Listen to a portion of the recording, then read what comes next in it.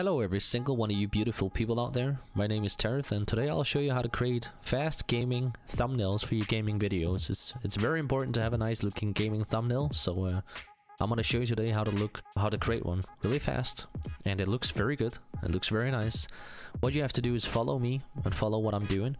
I know my things are in Danish, but I'll try and convert it over to, to your language, well to English, so everybody can understand it. And uh, yeah, let's get started with the video. So what you want to do now is you want to go up to files. You're going to press new. Inside of the inside of here, you're going to do 1280 by 720 and 100% and press OK. All right, go find a very nice looking thumbnail. I found mine right here on Google. Press on copy and press Control V. Then press Control T and hold Shift while dragging it, so we can do it here like this. I know it's going very, very fast, guys, but just because I want to, I want you guys to to be able to create them fast, you know. And I know how much you hate sitting and just listening to someone talk. So let's get started. Let's let's let's uh, press enter. Do this. Press enter. All right. So what we want to do now is we want to copy this layer two times. So what we want to do now is we want to grab this right here and put it on top of this one and I want to take this copy as well and put it on top of that one. So now we got two copies. On the top layer we're gonna go to filter we're gonna go to blur and we're gonna go to Gaussian blur. 4% press OK. Now press E for uh, for an eraser and put it at 400% and remove the remove the the inner the inner well the inner thing. Now go to the second one right here, the middle one, go to filter, go to blur, blur, and go to motion blur. And it's the exact same setting as you saw there. Press on E again and remove the middle one. Okay. Now we have a nice looking outer edge looking picture. So what we're going to do now is we're going to press on here and we're going to copy, well not copy, but take all these three and let's create a folder for it. So we have a little bit of organized content here and I'm going to call it for background. Alright, so that was easy. So what we're going to do now is we're going to find something that can help us, you know? So let's go to Fortnite. Go Fortnite, PNG. Let's find something. So what do you guys like? I'm pretty sure you like everything that's in this, but let's see if we can manage to find ourselves something that looks a little bit better. So let's take her for an example. Don't just copy it off here. Press on her. Let's get into the website and download this file right here. There we go. Take it, put it inside of the program. We're gonna put it to the side. Press OK. There we go. Now, she's right there. So what we're gonna do now is we're gonna double click on her. We're gonna give her a shadow. There we go. Play around with these settings in here to whatever you think you whatever to what you think is is very nice looking. Okay. And give it an outer glow. Now let's give her a glow that looks to something like the background. So we're gonna give her a pink glow. Now you can play around with the settings here as well. I like to keep mine minimized. Well, not minimized, but it's just around. What kind of looks good. Now, she looks good. Let us press on the next one. So what we're gonna do now is text. Inside of text, you want something very nice looking. So I'm gonna make mine awesome right here. So now it says awesome. Double click on it. Give it a shadow. Play around with the settings inside of shadow so you think it looks good. Give it a gradient. Oh, give it a gradient here. Give it a nice gradient. So what I'm gonna do here is I'm gonna make this all white. And the other one, I'm gonna make a little bit more gray. There we are press on OK. And I'm gonna make this one. If we can scale it so it looks a little bit better. Here we go. So now the scaling looks pretty good. Now let's give it a outer glow as well. But this one too much. It's a little bit too much. So let's just take it down just a tiny bit. Let's see about this one. Right here. There we go. Alright, let's go back to our shadow. Play around with the shadows a little bit.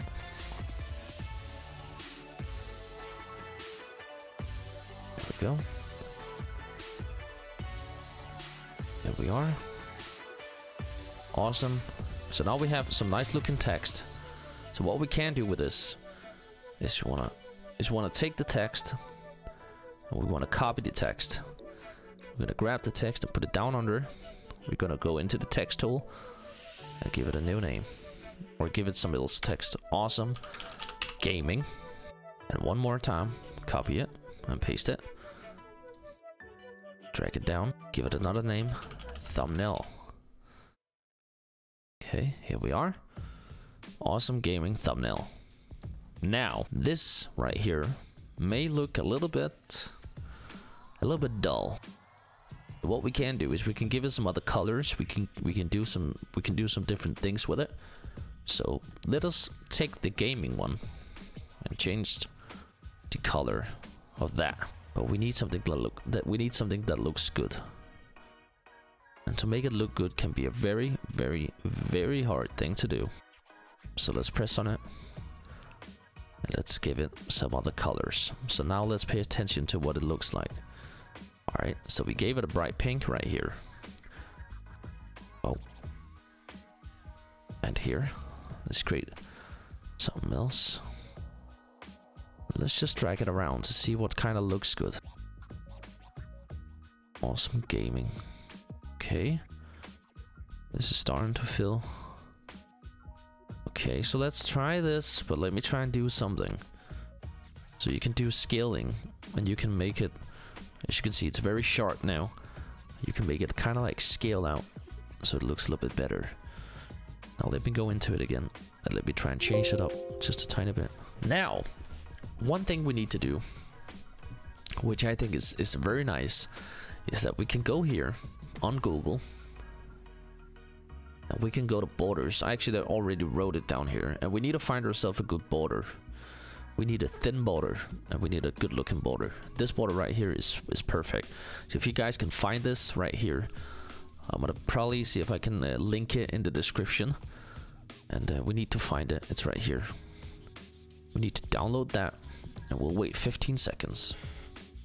Open this and take the transparent file and drag it into this one right here. So here we are. Drag it to the edge. And the edge right there. And here it is. So this might not look good and it doesn't matter what color it is because one thing we can do is that we can do something with our shadow. So give it a shadow. Boom. Alright, so we're gonna fix the shadow first. So it's too bright, it's too uh, it's too much there. So we're gonna take this down a little bit. And we can change the things here. And we can give it some things. Alright, so this looks pretty good. Alright, another thing we can do is give it a gradient. Now, we already made this text gradient and it already took this gradient from the text that we made. And I actually kind of like that. So I think we'll just keep it that way. We can give it an outer glow as well to make it pop more. Let's make it a little bit. So we still can see the shadow. And here we are, guys. This right here is gonna grab a lot of people's attention. But we're still not done yet. Because if you really want to grab people's attention, there's one thing we need. Let me show you what it is. So remember the backgrounds we made. Well, inside of here, let's create another layer. Go to your brush tool, B, give it a big size, like a very big size. Now take color, take some color, doesn't matter what color it is, and just do this all over the place. Doesn't matter. Don't be scared. Just pop in colors where you feel like. Pop in colors. Pop in colors. Okay, so now we have something nice looking. You might think, what the hell are you doing, Tereith? Look at this. Look at this. Click on your player. Go to these, these types up here. Go to divide. Bam. Now this may look like really, whoa, what's going on here? Well, go to opacity, and put it down to 75%. You can go further down if you want to. 75% is probably the best thing that I would do. Now, the reason that you need to do this is because you need to make your thumbnails pop a lot. The reason that you need to make your thumbnails pop is because the people need to see them. So when I say awesome gaming thumbnail, well, because of the background, because of the colors, everything's gonna grab people's attention to look at my video instead of other people's video. And that is also probably the reason as to why you clicked on my video was because of the thumbnail. Because then you read the thumbnail, or you see the thumbnail, and then you read the text under it. Guys, I hope you have it alright. Even though the circumstances with the coronavirus is all over the place right now. Take care. Don't forget to like, subscribe, comment. And uh, yeah, I hope you guys are having a wonderful, wonderful, wonderful time. Thank you so much for watching this video. Don't forget to like, comment, subscribe, as I just said. And have a great one.